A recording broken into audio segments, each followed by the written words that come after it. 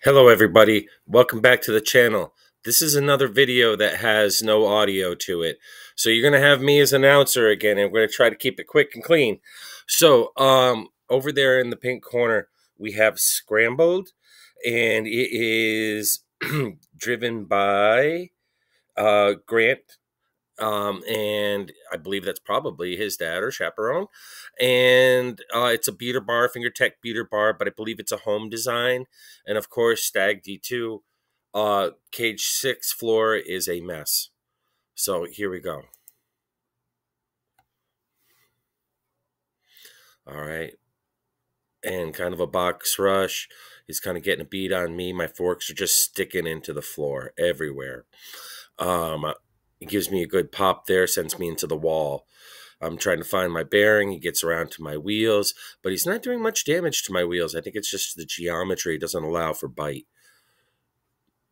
Um, kind of swinging around. We're trying to find each other. Kind of caught just in a pushing match. Trying to get him up against the rail. Scrambled counters. Is trying to come after me. Uh, I get him back up on my forks and up on the rail and he's coming wiggling waggling good shot right there flipped me over. And then i returned the favor and flipped him over. I got him pinned in the corner. We're doing that for a 10 count 10 9 8 okay and i release back up smack him again. Uh try to get my bearings. He's stuck in the corner calling for the unstick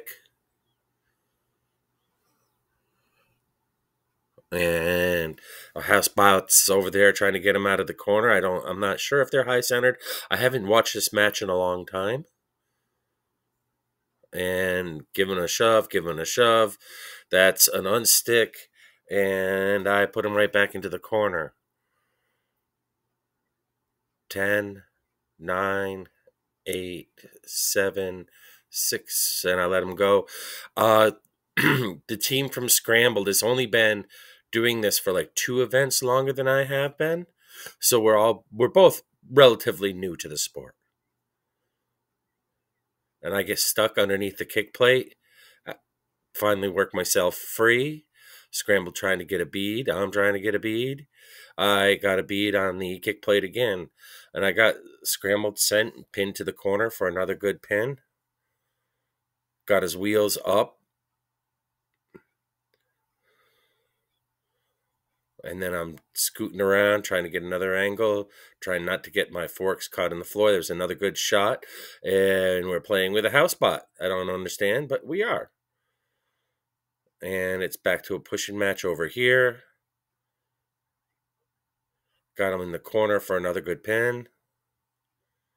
I believe that's like my fourth, third or fourth pin for 10 seconds. I'm coming out swinging, and I get him back towards the corner. Getting underneath Stag, getting him up there, chewing away at his underplate.